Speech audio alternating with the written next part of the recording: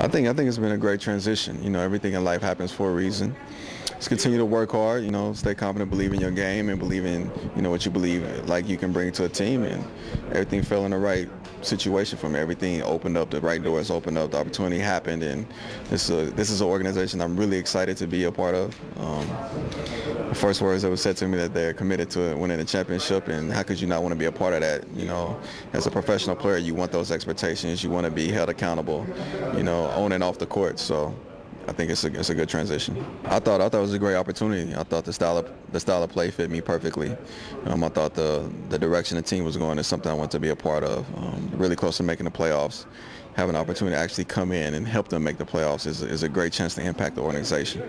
It's, it's perfect for me because I think that's what I bring to the table. That's how I got into the NBA my rookie year. You know, coming in with Gary Payton, I learned a lot about defense, whether it's legal or illegal. I learned a lot of a lot of good moves, and I learned how to, um, you know, play defense at, at, that position. And I learned from the best, one of the best ever play point guard.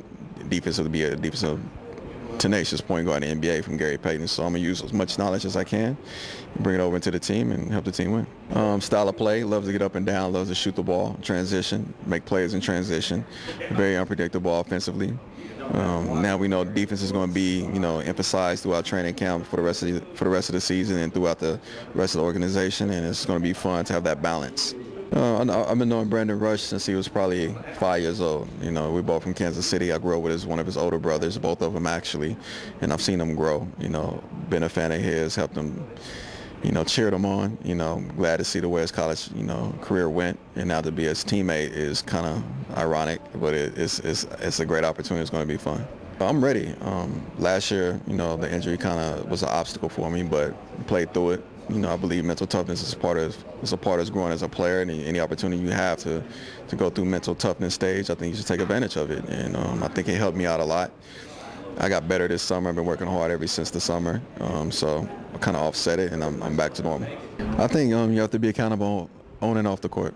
Um, you have to be a role model, and for me, that's pretty easy. You know, coming from UCLA, it's always been expected. You know, UCLA puts us through a lot of, you know, community services that kind of instills that in you from the beginning. So just continue to do what I learned from the beginning, and everything else will fall into place.